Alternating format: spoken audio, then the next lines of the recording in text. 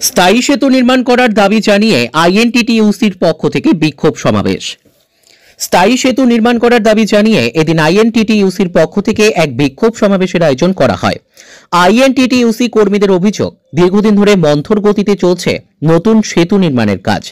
তার পাশে একটি অস্থায়ী সেতু নির্মাণ করা হলেও সেই সেতুকে কাজে লাগিয়ে অসৎ উপায়ে টাকা উপার্জন করছে অসাধু ব্যক্তিরা।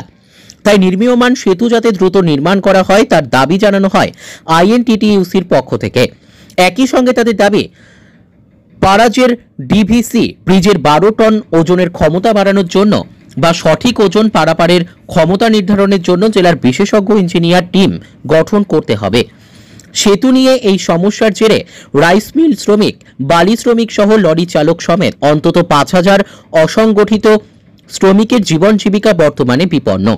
সাধারণ মানুষের স্বার্থে বাড়ির রিটেক।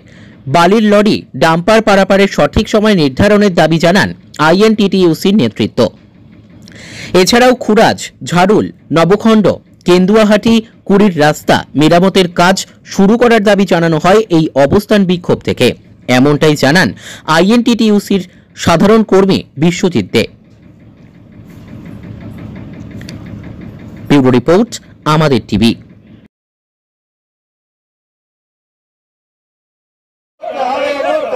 সাধারণ মানুষের জীবনের স্বার্থে সব বালি এবং লরি বন্দে মাতরম। এই আইনটি ছিল। জিরা হাও জিরা আজকের এই অবস্থান বিক্ষোভে দলে দলে এই আজকের এই অবস্থান বিক্ষোভে দলে দলে যোগ দিন যোগ দিন যোগ এই সাধারণ মানুষের জীবনের স্বার্থে বালির লরি এবং ডাম্পার পারাপারের সময় নিতে মারতে চায় লড়াই লড়াই লড়াই চাই মারতে চায় এই আইনটি ছিল এই আজকের এই অবস্থান বিক্ষোভে দলে দলে যোগ দিন যোগ দিন যোগ দিন এই আজকের এই অবস্থান বিক্ষোভে দলে দলে যোগ দিন যোগ দিন